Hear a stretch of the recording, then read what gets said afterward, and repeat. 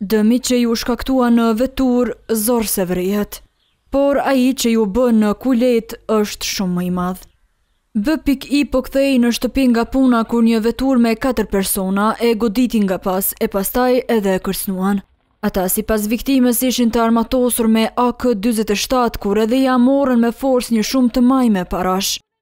Ngjarja ndodhi në fshatin Bablak të Ferizajt, pasi 20 vjeçari e kishte kryer orarin e punës si postier, derisa pazarin që e fitoi gjatë ditës e kishte me vete.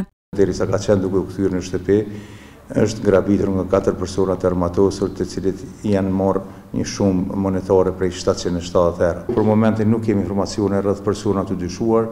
Njësia e Hetimeve Rajonale është duke punuar intensivisht në zbardhjen e këtij rasti. Djaloshi nga Tërni i Ferizajt, që nuk pranoi të flasë publikisht për rastin, nuk është se nuk vërejti lëvizje të çuditshme nga një veturë që po i vinte pas. Siç e përshkroi viktima, një veturë e tipit Korsa e përcolli gjatë tërë rrugës, derisa kohë pas kohe e ngacmonte duke i lëshuar edhe dritat e gjata. Ndërkohë që ngjarja u zhvillua pikërisht në këtë vend, kur viktima e ngadalësoi veturën për shkak të hekurudhës. Rasti u cilësua si grabitje e armatosur derisa të dyshuarit nuk janë kapur ende nga organet e rendit.